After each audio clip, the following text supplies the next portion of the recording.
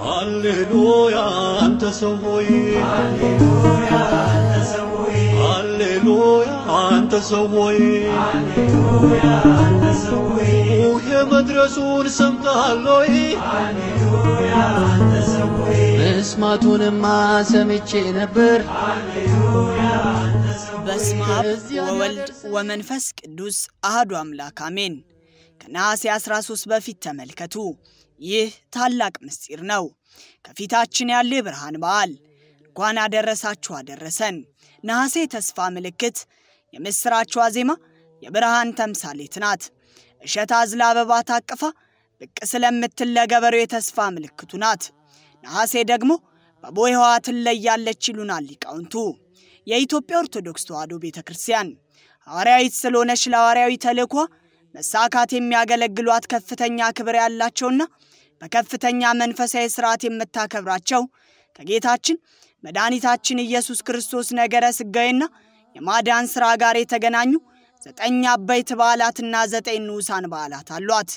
ከእነዚህ የጌታችን አበይት በዓላት አንዱ በየዓመቱ ነሐሴ 13 ቀን የምናከብረው የደብረ ታቦር በዓል አንዱ ነው።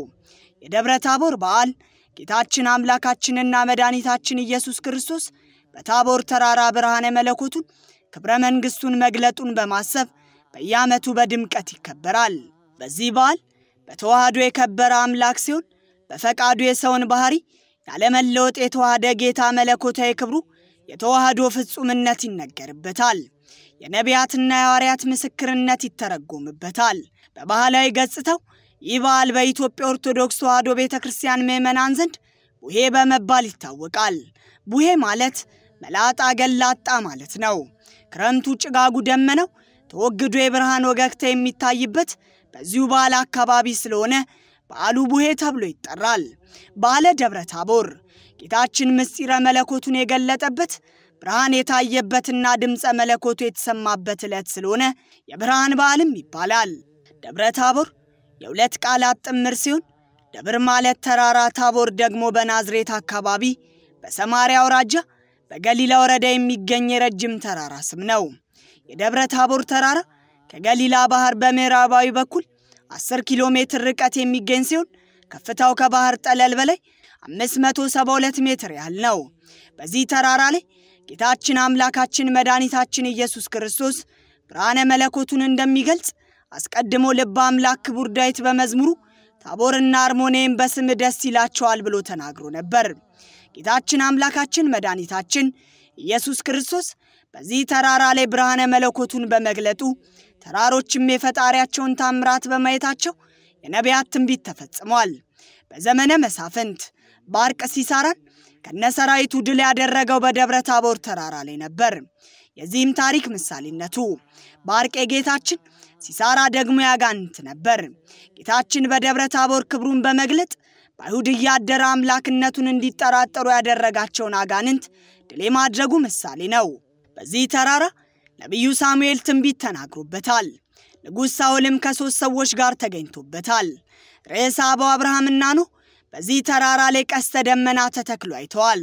አባታችን ኖህም ይህንን ተራራ መካነ ብርሃን የብርሃን ቦታ ብሎ ጠርቶታል።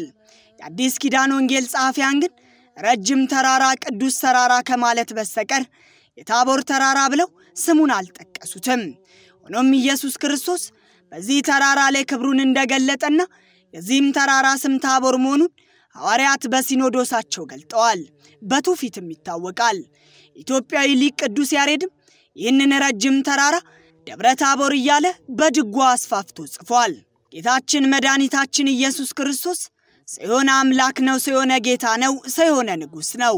ጌትነቱና ንግሥናው በጸጋ እንደከበሩ ቅዱሳንና በኃላፊ ሥልጣን እንደተሾሙ ምድራውያን ነገሥታት በጊዜ የሚገደብ ሰጪና ከልካይም ያለበት አይደለም። አምላክነት፣ ጌትነት፣ ንግሥና የባሕሪ ገንዘቡ ነው። ከማንም አልተቀበለውም፣ ማንም አይወስድበትም። የድኅነታችን መሠረቱ የጌታችን ፍጹም አምላክ ፍጹም ሰው መሆን ነው። ክቡር ዳዊት በመዝሙሩ እግዚአብሔር ግን ከዓለም አስቀድሞ ንጉሥ ነው፣ በምድርም መካከል መድኃኒትን አደረገ ብሎ መዝሙር 72 ቁጥር 12 ላይ ማለቱም ለዚህ ነበር። ማዕከለ ምድር በተባለች በቀራንዮ የሆነ አምላክ ኢየሱስ ክርስቶስ በመስቀሉ ቤዛነት ዓለምን ሁሉ አድኗልና። ይሁንና የጌታችን ነገረ ተዋህዶ ለብዙዎች ለማመንና ለመረዳት ይከብዳቸዋል። ዛሬም ድረስ በዚህ የተነሳ ብዙዎች ስለ አንድ ክርስቶስ እየተነጋገሩ የተለያየና የነገረ ድህነትን ምስጢር በማወቅም ሆነ ባለማወቅ የሚያዛቡ እምነቶች አሏቸው።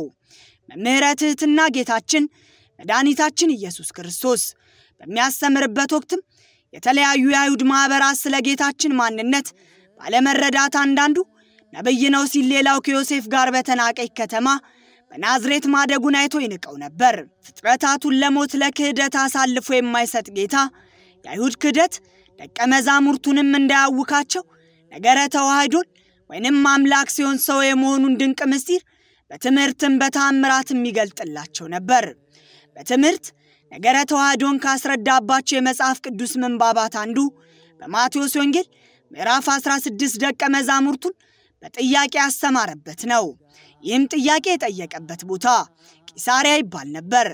አባቶቻችንም ይህን የጌታችንን ትምህርት ተስዕሎተ ቂሳሪያ ወይንም የቂሳሪያ ጥያቄ በማለት ይጠሩታል።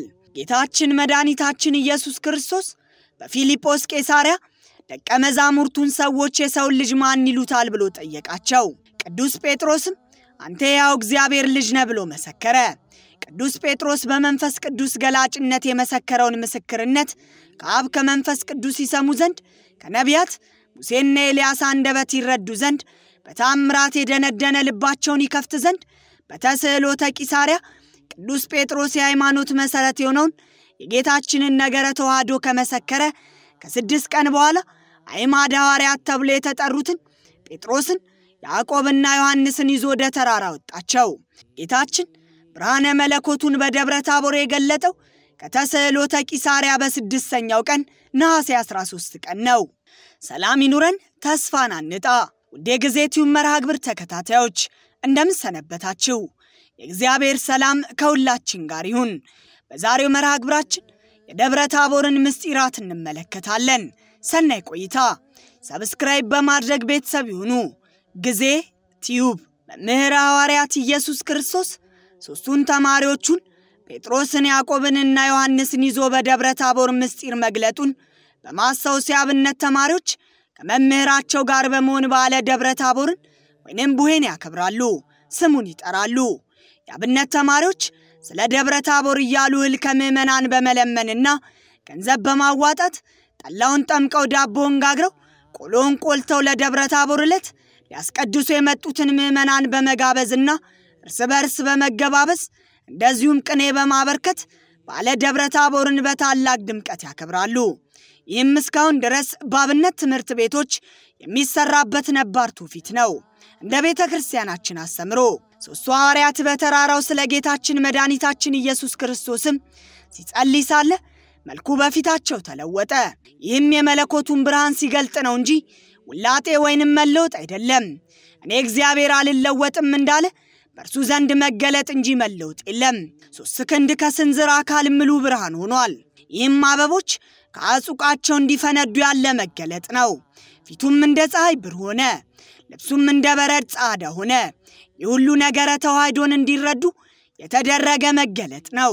ሰውነቱን አልካዱም፣ አምላክነቱን ግን ተጠራጥረው ነበርና አምላክነቱን ከሰውነቱ አዋህዶ ነገረ ተዋህዶን ገለጠላቸው። ጌታችን መድኃኒታችን ኢየሱስ ክርስቶስ በተወለደ በሰላሳ ሁለት ዓመት ከስድስት ወር ከአስራ ሦስት ቀን በዘመነ ማቴዎስ በወርሃ ነሐሴ በዕለተ እሑድ በደብረ ታቦር ብርሃነ መለኮቱን ገልጧል። ቅዱስ መጽሐፍ ስለ ጌታችን ብርሃንነት በዓለም ሳለሁ የዓለም ብርሃን ነኝ፣ ብርሃን ሳለላችሁ በብርሃን ተመላለሱ፣ እኔ ዓለም ብርሃን ነኝ፣ በሞት ጥላ መካከል ላሉ ብርሃን ወጣላቸው እንዳለ ፀሐይ ጽድቅ ጌታችን አምላካችን መድኃኒታችን ኢየሱስ ክርስቶስ የሰው ልጆች የተስፋ ብርሃን፣ የእውቀት ብርሃን፣ የዓይን ብርሃን፣ የሕይወት ብርሃን የሆነውን ብርሃኑን ገለጠ። ፀሐይ ጨረቃና ከዋክብትንም ብርሃን ያለበሰ እርሱ ነው። ለመላእክት፣ ለጻድቃን፣ ለቅዱሳን ሁሉ የጽድቅ ብርሃንን ያደለ የማይጠፋ ብርሃን እርሱ ነው። ለእርሱ ብርሃንነት ሊቀ ነቢያት ሙሴ ከተራራው በወረደ ጊዜ የእስራኤልን ዓይን የበዘበዘ ገጸ ብርሃን ምሳሌው ሊሆን አይችልም። የእርሱ የብርሃን መገኛ ለቅዱሳን ብርሃንን የሚሰጥ የብርሃናት አምላክ ሙሴን ብሩህ ያደረገ ለአባት ናቴዎስም ብርሂት ድን እጅ የሰጠ ነው እንጂ በቅዱሱ ተራራ ማደሪያውን ያደረገ አምላክ በዚህ ተራራ ብርሃነ መለኮቱን ገለጠ። ቅዱስ ማቴዎስ በፊታቸው ተለወጠ፣ ፊቱም እንደ ፀሐይ በራ፣ ልብሱም እንደ ብርሃን ነጭ ሆነ ሲል የክርስቶስ ፊቱ እንደ ፀሐይ የበራው የብርሃኑን ማይል ያንጸባረቀ የብሉይ ኪዳን መሪ እንደነበረው እንደ ሙሴ ፊት ብርሃን ያለ አይደለም። በደብረ ሲና የተገለጠ የፍጡሩ የሙሴ ክብር ነበር። በደብረ ታቦር የተገለጠው ግን የሕያው ባሕሪ የክርስቶስ ክብር ነበር። ውድ የጊዜ ቲዩብ ቤተሰቦች ደብረ ታቦር ሲመጣ ታዲያ ለምን ከሌሎች ተራራ ደብረ ታቦር ተመረጠ የሚለው ዋነኛ ጥያቄ ነው። ሊቃውንቱ ይላሉ። መድኃኔ ዓለም ሌሎች ተራሮች እያሉ ክብሩን ለመግለጽ ስለምን ደብረ ታቦርን መረጠ ቢሉ ትንቢቱንና ምሳሌውን ለመፈጸም ነው ይላሉ። ትንቢቱ ታቦርና አርሞኔም በስምህ አምነው በተደረገላቸው ነገር ደስ ይላቸዋል፣ ስምህን ያመሰግናሉ፣ ለስምህም ምስጋና ያቀርባሉ እንዲል መዝሙረኛው ዳዊት። ሌላው ደግሞ ምሳሌውን ለመፈጸም ነው። ምሳሌውን ለመፈጸም ደግሞ ምሳሌው ብዙ ናቸው፣ ከላይ እንደተመለከት ናቸው። ለምን ሦስቱን ሐዋርያት ብቻ ይዞ ወጣ የሚለውን ስንመለከት ታዲያ አንደኛ ጌታችን እሞታለሁ እሰቀላለሁ ባለው ጊዜ ጴጥሮስ ልትሞት አይገባም፣ ይህ ለአንተ አይገባም ብሎ ተቃውሞት ነበርና በአብ ቃል እርሱ ያላችሁን ስሙት፣ ይህ ለአንተ አይገባም አትበሉት፣ አትቃወሙት ለማለት ሲሆን፣ ሁለተኛው ደግሞ ጌታችን እናንተስ ማን ትሉኛላችሁ ብሎ ደቀ መዛሙርቱን በጠየቃቸው ጊዜ ጴጥሮስ አንተ ያው የእግዚአብሔር ልጅ ነህ ብሎት ነበርና አሁንም አብ አዎ ልክ ነህ እመለክበት ዘንድ ለተዋህዶ የመረጥኩት የምወልደው የምወደው ልጄ ይህ ነው ብሎ ለማረጋገጥ ነው። ሦስተኛው ደግሞ ለፍቅሩ ስለሚሳሱ ነው። ይህም በዕብራይስጡ ኬፋ፣ በግሪኩ ጴጥሮስ፣ በግዕዙ አለት የተባለው የዮና ልጅ ስምዖን ጌታችን እሞታለሁ እያለ ሲናገር አይሁንብህ ማለቱ አስቀድመን እንደተናገርን ለጌታ ካለው ፍጹም ፍቅር የተነሳ ነው ይለናል ቅዱስ ዮሐንስ አፈወርቅ። ዮሐንስም በወንጌል የጌታ ወዳጅ ተብሎ ተጽፏል። ያዕቆብም ደግሞ ጌታን በእጅጉ እንደሚወደው በኋላ ታውቋል። ይኸውም እኔ የምጠጣውን ጽዋ ትጠጣላችሁ ሲባሉ አዎ ብሎ መመለሱና በዚህም በሄሮድስ አግሪጳ ሰማዕት ሆኖ መሞቱ ምስክር ነው። አራተኛው በይሁዳ ምክንያት ነው። ኃጥ ሰው የእግዚአብሔር ክብር እንዳያይ ያርቁታል እንዲል ኢሳይያስ እርሱን ጥሎ አስራ አንዱን ወደ ተራራ ይዞ ቢወጣ ከምስጢር ቢለየኝም በሞቱ ገባሁበት እንዳይል ነው። ያም ባይሆን ስምንቱ ደቀ መዛሙርት ለምን ይከለከላሉ ቢሉ አልተከለከሉም።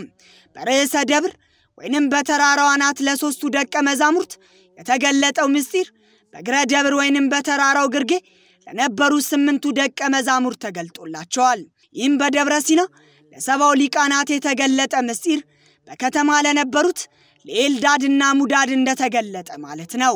ኤልያስና ሙሴን ለምን አመጣቸው ስንል ደግሞ የመጀመሪያው በአንድ ወቅት ሙሴ እግዚአብሔርን በአንተ ዘንድ ባለሟልነትን ማግኘት የእውነት ከሆነስ ፊት ለፊት ተገልጸህልኝና በአንተ ዘንድ ባለሟልነትን ማግኘት የለወቀው ሲል ጠይቆት ነበር።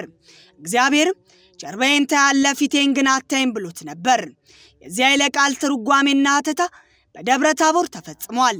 እንዲህ ማለቱ አምስት ሺህ አምስት መቶ ዘመን ሲፈጸም ሰውኜ ሥጋ ለብሼ ኋላ በደብረ ታቦር እስክገለጽልህ ድረስ አንተ በመቃብር ተወስነ ትኖራለህ ማለቱ ነበርና ይህን ማለቱ እንደሆነ የታወቀው ግን በደብረ ታቦር ሙሴን ከብሔረ ሙታን አምጥቶ ባቆመው ጊዜ ነበር። ሁለተኛው ልዑል እግዚአብሔር ነቢዩ ኤልያስን አንተ በኋለኛው ዘመን ምስክር ትሆነኛለህ ብሎት ነበር። ይኸውም ኃይለ ቃል ኤልያስ ከብሔረ ሕያዋን መጥቶ የኔን የኤልያስን ጌታ ማን ኤልያስ ነው ይልሃል? እግዚአ ኤልያስ አምላኬ ኤልያስ ይበሉ እንጂ ሲል በደብረ ታቦር ተፈጸመ። ታያለ የተባለውም ሙሴም አየ፣ ትመሰክራለ የተባለውም ኤልያስ መሰከረ።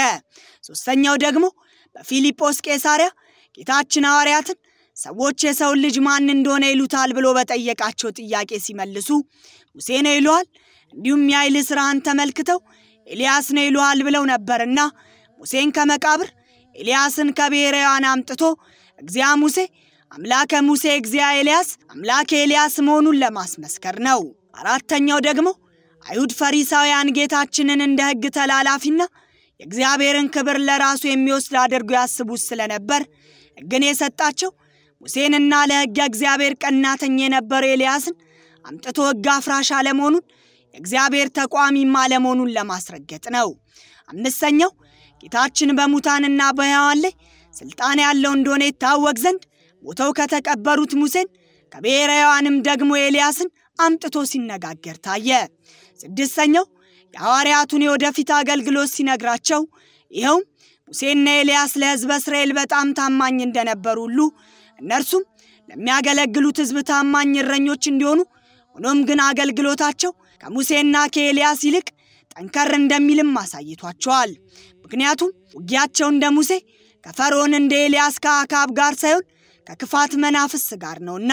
ሰባተኛ ጽድቃቸው ከእነዚህ ከሙሴና ከኤልያስ የበለጠ ሊሆን እንደሚገባ ለማሳየት ነው። ምክንያቱም ሙሴ ከሕዝበ እስራኤልን ቢመራ ምድረ ፍልስጤምን ለማውረስ ነው። እነዚህ ግን ሕዝቡን መርቶ የሚያስገቡት መንግሥተ ሰማያትን ነው። ኤልያስ ሰማያትን ቢለጉምም ከጊዜያዊ ዝናብ ነው። እነዚህ ግን ለዘላለም መንግሥተ ሰማያትን የመለጎም ሥልጣን አላቸውና። ከዚህም በኋላ ጴጥሮስ ጌታዊ በዚህ መሆን ለእኛ መልካም ነው ሲል ተደምጧል። ይህም የተለያየ ትርጉም አለው።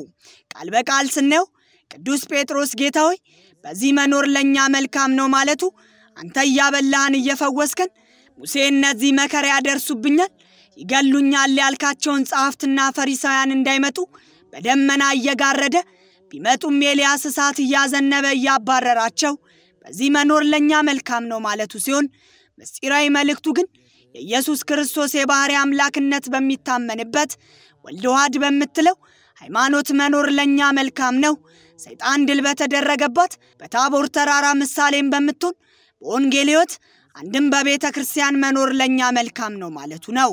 ውድ የጊዜ ቲዩብ ቤተሰቦች ታቦር ተራራ ማለት የወንጌል ምሳሌ ነው። ተራራ ሲወጡት ያደክማል፣ ከወጡት በኋላ ግን ጭንጫውን ግጫውን ሲያሳይ ደስ ያሰኛል።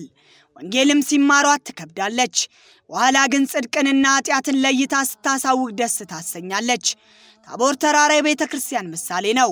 በታቦር ተራራ ከብሉይ ኪዳን ነቢያት ኤልያስና ሙሴን ከአዲስ ኪዳን ሦስቱን ሐዋርያት እንደተገኙ በቤተ ክርስቲያን ብሉይ ከአዲስ እንዲነገር ያጠይቃል። ሐዋርያት የሰበኩት ወንጌል አስቀድመው ነቢያት በምሳሌና በትንቢት የተናገሩት እንደሆነም ያስረዳል። ነቢያት በቀየሱ ሐዋርያት ገሰገሱ እንዲል ጳውሎስም በሐዋርያት በነቢያት መሠረት ላይ ታንጻችኋል ይላልና በታቦር ተራራ ከማስባን ወይንም ባለትዳር ሙሴን ከደናግል ደግሞ ኤልያስ እንደተገኙ በቤተ ክርስቲያን በድንግልና የሚኖሩ መናንያን መነኮሳት በሕግ በሥርዓት የሚኖሩ ባለትዳሮች ይገኛሉና ነው። ታቦር ተራራ የመንግሥተ ሰማያት ምሳሌ ነው። ተራራ በብዙ ችግር እንዲወጡት ወደ እግዚአብሔር መንግሥትን በብዙ መከራ እንገባ ዘንድ ያስፈልገናልና ነው። በታቦር ተራራ የብሉይ ኪዳን ነቢያት ከአዲስ ኪዳንም ሐዋርያት እንደተገኙ መንግሥተ ሰማያትም ነቢያትም ሐዋርያትም አንድ ሆነው ይወርሷታልና ነው። በታቦር ተራራ ከማስባን ሙሴ ከደናግል ደግሞ ኤልያስ እንደተገኙ መንግሥተ ሰማያትንም ደናግልም ማስባንም በአንድ ላይ ወርሷታልና ነው። በታቦር ተራራ ሞተው ከተቀበሩት መካከል ሙሴን በብሔረ ሕያዋን ካሉት ደግሞ ኤልያስ እንደመጡ መንግሥተ ሰማያትንም ሞተው የተቀበሩትም በብሔረ ሕያዋን ያሉትም በአንድነት ይወርሷታልና ነው። ደብረ ታቦር የቤተ መቅደስ ምሳሌ ናት። በቅድስት ቤተ ክርስቲያን ለሥርዓተ ቅዳሴ የሚሰየሙ ካህናት ልዑካን አምስት ናቸው። ሙሴና ኤልያስ የካህናት፣ ጴጥሮስ፣ ዮሐንስ፣ ያዕቆብ የዲያቆናት ምሳሌ ሲሆኑ ጌታችን አምላካችን የሊቀ ካህናት ምሳሌ ናቸው። ደብረ ታቦር የቤተ ክርስቲያን ምሳሌ ናት። በብሉይ ክርስቶስን መገለጥ የተናገሩት ነቢያት በአዲስ ኪዳን የተገለጠውን የእግዚአብሔር አብ የባሕሪ ልጅ ኢየሱስ ክርስቶስ ለዓለም የሰበኩ ሐዋርያት በአንድ ሆነው የተገኙባት ጌታቸውን በአንድነት ያመሰገኑባት ናት።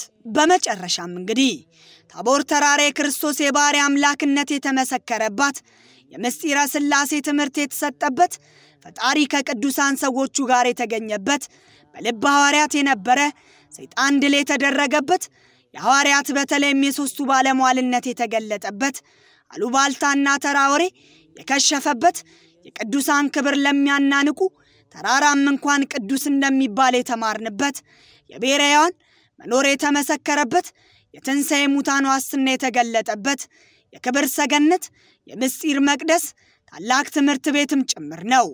ፈጣሪያችን እግዚአብሔር እስከ መጨረሻው እቅታ ድረስ በታቦር ተራራ በተመሰለች በቤተ ክርስቲያን በሃይማኖታችን ጸንተን የመንግሥተ ሰማያት ወራሾች የስሙ ቀዳሾች እንድንሆን የእግዚአብሔር ቸርነት የድንግል ማርያም አማላጅነት አይሌን።